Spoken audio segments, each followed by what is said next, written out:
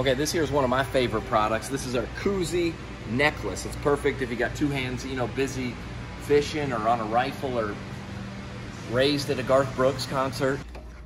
Okay, these are cargo shorts, literally our most popular item. Okay, this here is the ladies apparel section of the store. I personally have been working here for three years and I've never seen a female here, but uh, you know, fingers crossed. Carhartt, Wrangler, Mossy Oak, that's the redneck holy trinity. You're not really drinking alone if your dog is at home. I got that tattooed on my back, actually. Y'all want to see it? Okay, this is Night Bobby. This is a glow-in-the-dark bobber. If you're going to fish at night, this is what you need. Night Bobby is also what we call my Uncle Robert after he's had a couple Jack and Cokes after dinner. Cabela? Shoot.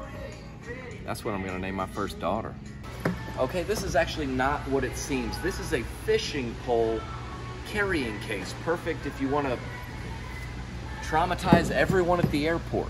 This is our collection of overalls here. Basically, we got every size. Uh, perfect for, you know, harvesting, you know, the fields or you know, starting a meth lab. Okay, what you're looking at here, this is assault and battery.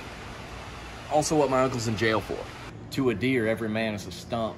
But to a turkey, every stump is a man. That's my John 3.16. Man, I wish Chris Janson was my dad. Zoom. That's what a redneck does during a quarantine. Oh, you don't think Crocs are in style? Let me break it down for you. Jesus, remember him? Yeah, he walked on water. Well, with these shoes, uh, you can walk in water, and that's that's about as close to Jesus as you can get. These here are uh, big sunflower seeds. Sunflower seeds, if you don't know, you only eat when you're bored. So in a baseball dugout when you're not playing or trying to drive and stay awake or uh, fishing.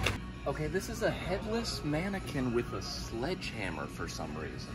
Here at Bass Pro Shops, we like to include everyone. Everyone is welcome at our store. That's our main message. We just want to let everyone know that we welcome every religion, every holiday we celebrate. Everyone here is included. Okay, this is the clothing section, as you can see, and we really pride ourselves here at Bass Pro Shops as having so many different colors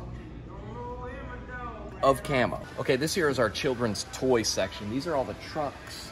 Uh, as you can see here, we have no female names on the trucks whatsoever. We really like to, you know, reinforce the gender stereotypes while they're young.